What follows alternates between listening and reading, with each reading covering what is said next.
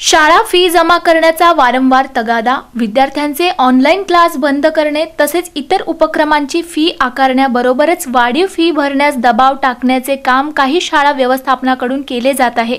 सध्याच्या कोरोनाच्या संकटमय घडीमध्ये पालकांना त्याचा नाहक त्रास होतोय. त्यामुळे या संदर्भात विद्यार्थी व पालकांना न्याय मिळावा अशी मागणी आमदार प्रशांत ठाकूर यांनी राज्याच्या शालेय शिक्षण मंत्री वर्षा गायकवाड यांच्याकडे केली आहे. आमदार प्रशांत ठाकूर यांनी या संदर्भात नामदार वर्षा गायकवाड यांना निवेदन दिले असून शाळा व्यवस्थापनांचा मनमानी कारभार त्यांनी निवेदनात अधोरेखित केला आहे. लॉकडाऊनच्या कालावधीमध्ये फी जमा करण्याबाबत सक्ती करण्यात येऊ नये व लॉकडाऊन कालावधी संपल्यानंतर शाळेची फी जमा करण्याबाबतच्या सूचना शासनाने तीस मार्च दोन हजार वीस रोजीच्या परिपत्रकाद्वारे जारी केल्या आहेत.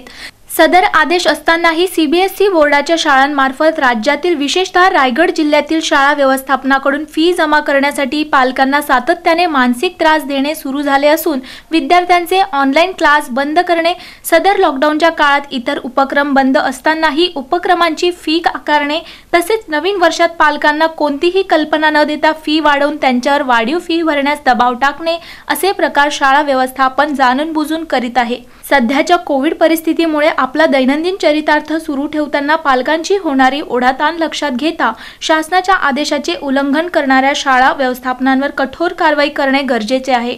तसेच सन दोन हजार एकवीस बावीस या वर्षासाठी सर्व शाळांनी आकारायच्या फी संदर्भात सुस्पष्ट निर्देश देऊन सर्व जिल्हा शिक्षण अधिकाऱ्यांना त्वरित अंमलबजावणी करण्याचे आदेश द्यावेत असे आमदार प्रशांत ठाकूर यांनी उल्लेख करून शाळा व्यवस्थापनाच्या मनमानी कारभाराला आळा घालून पालक वर्गाला दिलासा द्यावा असेही आवर्जून नमूद केले आहे.